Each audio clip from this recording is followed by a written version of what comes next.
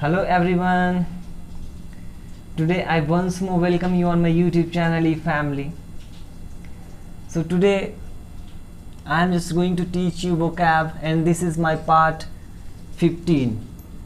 So it's my part 15 and today I have just taken different vocab and that is libellous.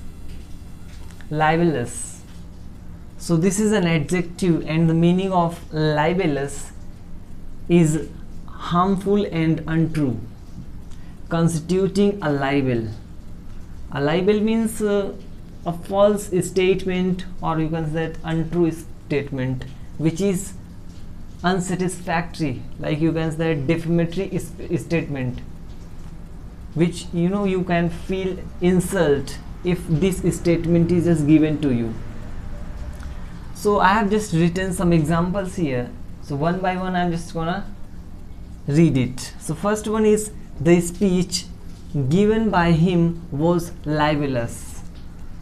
So the speech which was just spoken by him was libelous means was untrue.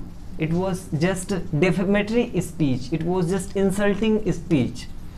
Another example the letter being libelous was too concerned to me it means the letter being libelous it means it was defamatory letter was too concerned to me. And uh, i was just concerned and i was shocked. So this was too concerned to me.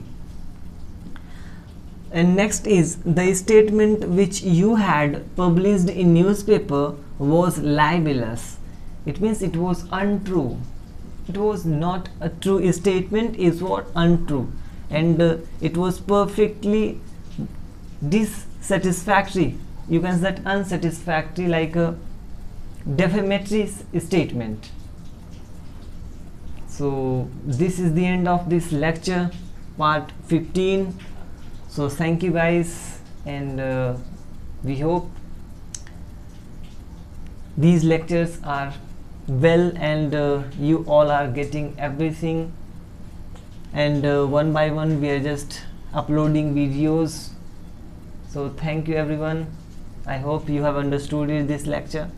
So thank you everyone. And stay connected with us. Thank you so much